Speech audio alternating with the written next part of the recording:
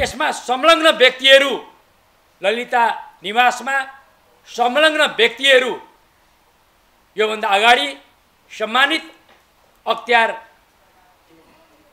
आयोगले एक सय पचहत्तरजनालाई भ्रष्टाचार सम्बन्धी मुद्दा दायर गरिसकेको अवस्था।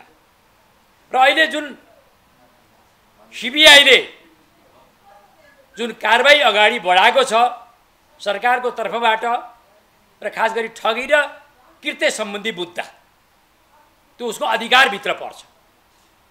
अख्तियारले एक सय पचहत्तरजनालाई मुद्दा दायर गरो अब यो मुद्दा अगाडि बढा बढ्न सक्दैन भन्ने तर्कसँग हामी सहमत छैनौँ। ठगी र कृत्यमा मुद्दा उसले दायर गर्ने प्रक्रियालाई अगाडि बढाएको छ।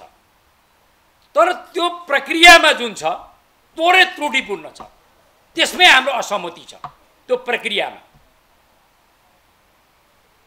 एउटा नासुले पेस गरेको फाइल एउटा शाखा अधिकृतले पेस गरेको फाइल हुँदै क्रमशः उपसचिव सहसचिव सचिव मन्त्री हुँदै क्याबिनेटमा निर्णय भएको कुरालाई एउटा शाखा अधिकृतले गलत गर्यो भनेर कृष्ण रावत जो अहिले बालबाल सचिव हुनुहुन्थ्यो उहाँलाई जुन किसिमले धरपकड गर्यो जुन किसिमले उहाँलाई पक्राउ पूर्जी जारी गर्यो र जुन किसिमले उहाँलाई हिरासतमा राख्ने काम गर्यो त्यो प्रक्रिया गलत थियो भन्ने कुरो नेपाल निजामती कर्मचारी युनियनले प्रष्ट रूपमा भन्न चाहन्छ यति भन्दै गर्दा उहाँले गल्ती गर्नुभएको छैन भन्न खोजेको होइन नेपाल सरकारको सचिव कहाँ भागेर जान्छ? कुन ठाउँमा भागेर जान्छ? उहाँलाई त प्रहरी कार्यालयमा बोलाएर भनेका बखत तपाईँले उपस्थित हुनुपर्छ भनेर कागज गराएर पनि उहाँलाई छोड्न सकिन्थ्यो। उहाँले के त्यत्रो अपराध गर्नुभएको थियो? जो विमानस्थलबाटै उहाँलाई पक्रिनुपर्ने अवस्था आयो। उहाँ दोषी हुनुहुन्छ होला त पछिको कुरो। यदि उहाँ निर्दोष साबित हुनुभयो भने उहाँको जुन समाजमा उहाँको जुन अपमान भएको छ त्यो क्षतिपूर्ति कसले दिन्छ? त्यो क्षतिपूर्ति कसले उपलब्ध गराउँछ?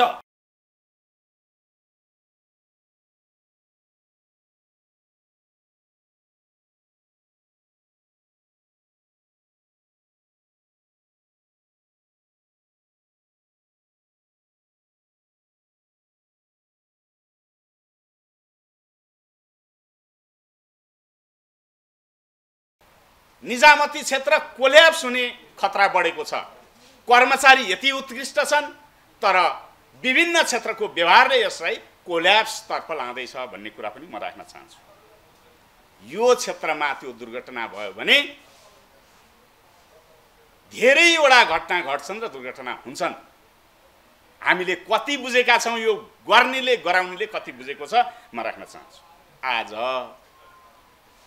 आज छ वर्षमा त्यो सङ्घीय सामान्य प्रशासन मन्त्रालय भन्ने मन्त्रालय छ सङ्घीय सरकारको। छ वर्ष भयो एउटा ऐन दिन सक्दैन। त्यस्तो निम्सरो छ क्या त्यो मन्त्रालय। छजना मन्त्री फेरिए छजना मन्त्री आठजना सचिव फेरिए एउटा कानुन निर्माण गर्दैन निजामती क्षेत्रको। प्रायोरिटीमा छैन प्राथमिकतामा छैन तिनी।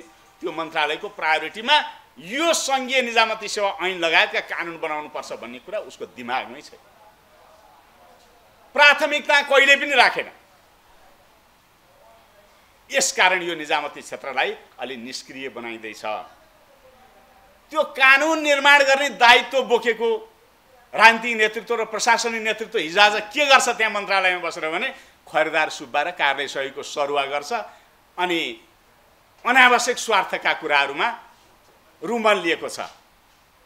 तपाईँहरूलाई थाहा छ पत्रकार साथीहरू? आज मैले आएर भन्न हुने हो कि होइन? एक महिनामा एकवटा कर्मचारीको चारपल्ट सरुवा गर्छ त्यो। सामान्य त दुई वर्षभन्दा कममा सरुवा गर्न पाइँदैन भन्ने छ। उसले के गर्छ भने एक महिनामा चारपल्ट सरुवा गर्छ। त्यो सङ्घीय मन्त्रालयमा बस्ने चाहिँ ठुला मान्छे भन्नेहरू के भन्छन् अरे भने मसँग हामीसँग आस्था विचार नमिल्नेहरूलाई खेदी खेदिकन दुःख देऊ भन्छ अरे।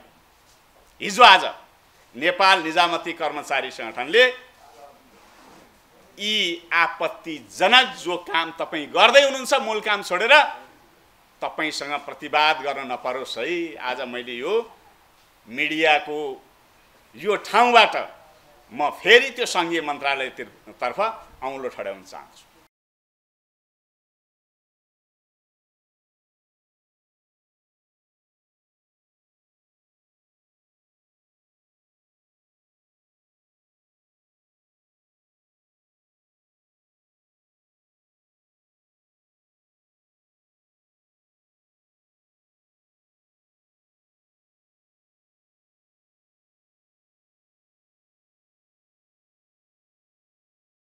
सबैजनाले बदनियतपूर्वक काम गरेकै हो भन्ने आधार हुनसक्छ भन्ने चाहिँ यद्यपि त्यो छानबिनको सिलसिला छ त्यो छानबिन भइरहेको छ त्यो छानबिन गर्नु र त्यो यसरी बदनियतपूर्वक कसैले काम गरेको रहेछ भने त्यो कारवाहीको भागी हुनुपर्छ।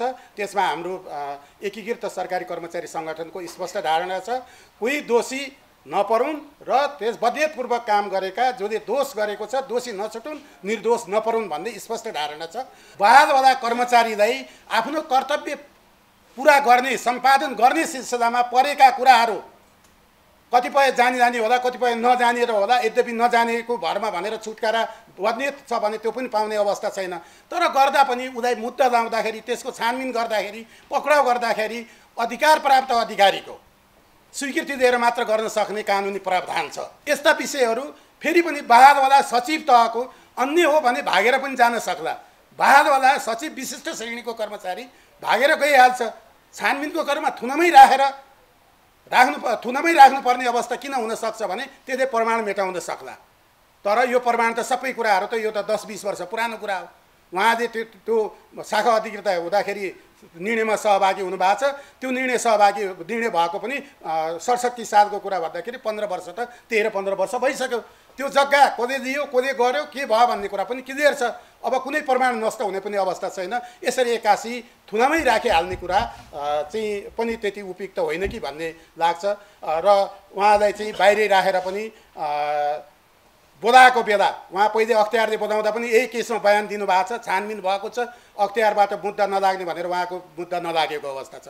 फेरि पनि बयानमा बोलाउँदाखेरि उपस्थित जहाँ उपस्थित भन्यो त्यहाँ उपस्थित गराउन सक्ने पदाधिकारीलाई बयालवाला पदाधिकारीलाई एक्कासी धडपकड गरेको विषयमा हाम्रो आपत्ति छ।